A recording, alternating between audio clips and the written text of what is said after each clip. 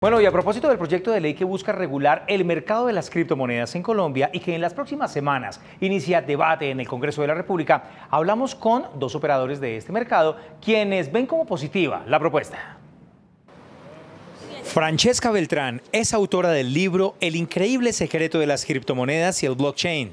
Hoy celebra que haya un proyecto de ley que busque regular este mercado. Las criptomonedas ya es algo que está en el más que en el futuro, acá en el presente y es importante que exista cierta regulación para hacerlo de una manera más verídica y precisamente cubrir todos los acontecimientos que están pasando negativos con las criptomonedas. La autora del libro advierte que hay que tener mucho cuidado a la hora de comprar una criptomoneda. Siempre que exista un medio de intercambio habrán, personas que se aprovechan de esta información para hacer esquemas piramidales, fraudes. Entonces ahí la importancia para empezar a regularlas y tomar las medidas pertinentes.